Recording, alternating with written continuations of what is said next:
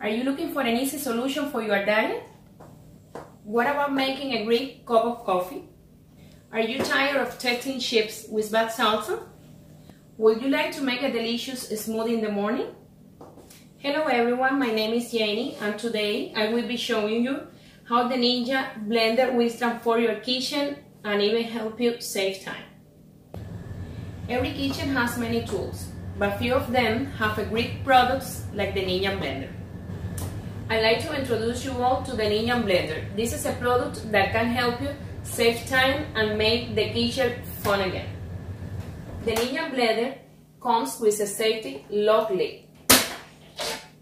The container that holds 2 liters of liquids. The removable blades and the motors. Today I will be showing you how to make salsa for your chips, grind the coffee beans, make a banana smoothie and mashed potato. To make a delicious salsa, we will place two tomatoes, four cilantro leaves, a small onion, and a little salt.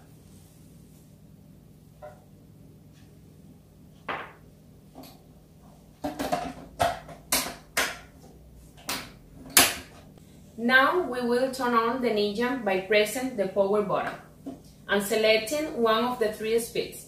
I will be selecting the lowest speed.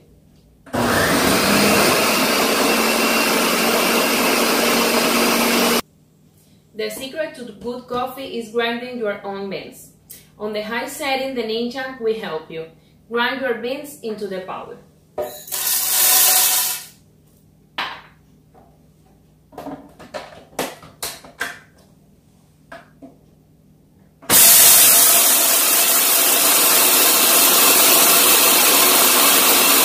The Ninja can also make a delicious banana shake. I will be using two bananas and we'll fill the container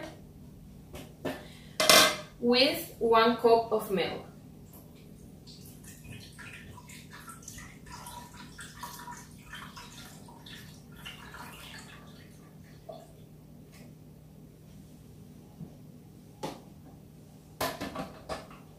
Then I will select the medium speed.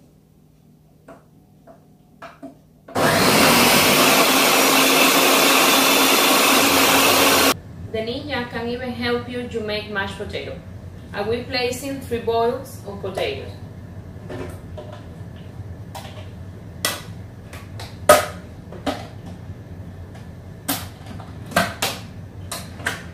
And setting the Ninja to high speed.